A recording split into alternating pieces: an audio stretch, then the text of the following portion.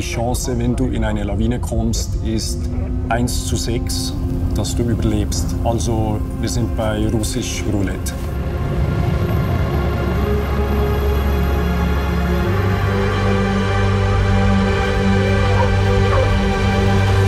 In kritischen Situationen, also lebensgefährlichen Situationen, kann es mal die Zeit sein, der eigentlich der größte Feind ist.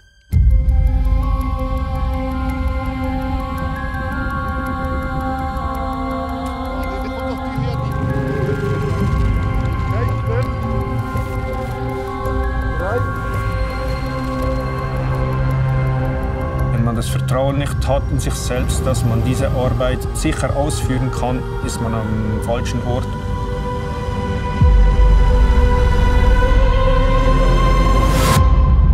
Die Natur, die Berge, das ist viel größer als wir.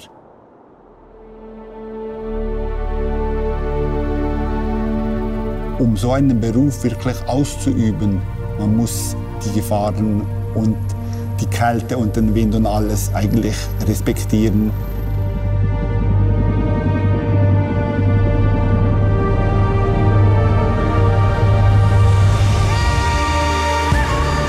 Das ist eine Herausforderung, die vielleicht nicht jeder machen kann.